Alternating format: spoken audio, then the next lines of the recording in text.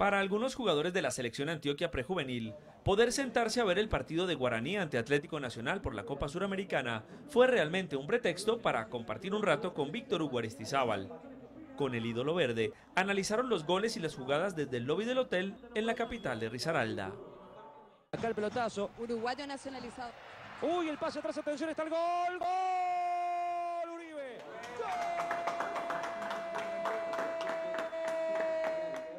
Es muy importante, nos dio unos buenos consejos para ser profesionales, pensar también en tener otra carrera, además de ser futbolista.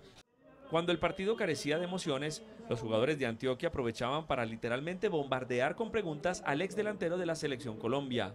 Juan José Prada, una vez faltó un pelado o faltó uno para el entrenamiento y, yo, y me pusieron a entrenar y me volvieron a llamar. Y ahí quedé en la prejuvenil, ahí ya empecé, ya empezó mi carrera. Un tiro de esquina lento, una falta con un jugador en el piso o el final de los primeros 45 minutos. Cualquier espacio era perfecto para pedir un consejo. Él nos contó todo lo que, lo que él vivió con la selección Antioquia, que es tener, ser, estar en una selección Antioquia pues no es para cualquiera, que es una responsabilidad muy grande. Al final, Nacional venció a Guaraní por el torneo internacional, pero para la mayoría de futbolistas del cuadro paisa, el marcador resultó ser lo menos importante. Para ellos, compartir una noche de fútbol con Víctor Hugo Aristizábal fue suficiente.